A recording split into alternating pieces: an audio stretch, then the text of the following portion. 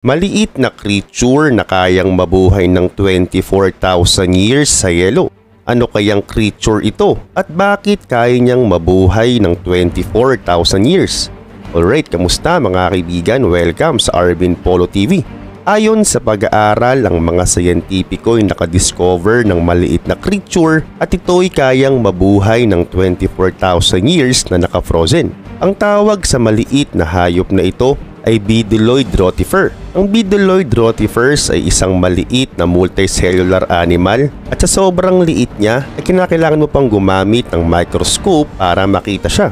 At bagamat isa nga siyang napakaliit na creature, ay meron naman siyang napakatinding kakayahan na kayang tumagal at tiisin ng napakatinding sitwasyon. Halimbawa, Base sa obserbasyon ay kaya niyang makasurvive kahit na frozen na siya o di naman kaya kahit kakonti lang ang oxygen ay di pa rin siya mamamatay.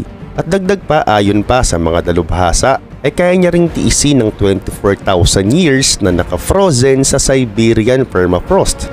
Ganun pa man ayon pa sa report ng mga researcher, ang creature na ito ay talagang legit na muling mabubuhay matapos nitong mawala ng buhay ng ilang libong taon. Pero paano ito nalaman ng mga sayantipiko? Simple lang, gumamit sila ng pangbutas at binutas nila ang Siberia permafrost at kumuha sila dito ng mga samples. At dito na pag-alaman nga nila na nakasurvive pa rin ang hayop na ito ng mahigit 10 taon sa yelo. Pero ito'y base sa nakaraang research pa. At ngayon gamit ang makabagong teknolohiya ay muli nila itong inaral at gamit ang radiocarbon ay nalaman nila na hindi lang 10,000 taon kundi halos 24,000 years nilang kayang mabuhay sa yelo. Pero anong mangyayari sa kanila matapos nilang ma-unfrozen? Kapag na-unfrozen na sila, ay dito na nga sila magsisimulang magparami. At ang ganitong proseso ay cloning at tinatawag din nila itong parthenogenesis. Ngayon ang tanong muli, paano naman sila nakakatagal ng ganong katagal? Ang mga researcher ay kinuha ang frozen rotifer at saka tinunaw nila ito sa laboratorio para nga malaman nila kung bakit ito nakakasurvive ng ganong katagal. At dito naobserbahan nila na ang mga rotifer pala ay merong kakaibang mekanismo sa katawan kung saan pinoprotektahan nito ang kanyang mga cells at mga organs laban sa mataas na temperatura. So sa makatuwid baliwala sa kanila ang mataas na temperatura dahil kahit magyelo sila ng libong taon ay kaya pa rin nilang mabuhay kapag natunaw na ang yelo. Ang tanong, ay din ba itong gawin sa mga tao? Sa katunayan, ginagawa na po yan sa ating panahon at ang kumpanyang nag-organize nito ay ang cryonics. Pero paano ba ito? Kapag wala nang buhay ang tao, ilalagay nila ang katawan nito sa yelo. At pagkatapos kapag naimbento na ang immortality technology ay muli silang kukunin para gamutin at muling buhayin.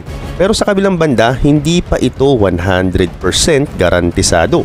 Kaya naman ng mga sayantipiko ay walang tigil pa rin sa pag-eksperimento. At sa tulong daw ng mga rotifers ay mabilis na lang nilang malaman ang paraan para maisagawa ito sa mga tao. At take note, ang mga rotifers ay tinuturing ng mga hayop dahil meron silang maliit na utak, meron din silang mga system at organs. At ang malupit pa, meron din silang bibig at ari.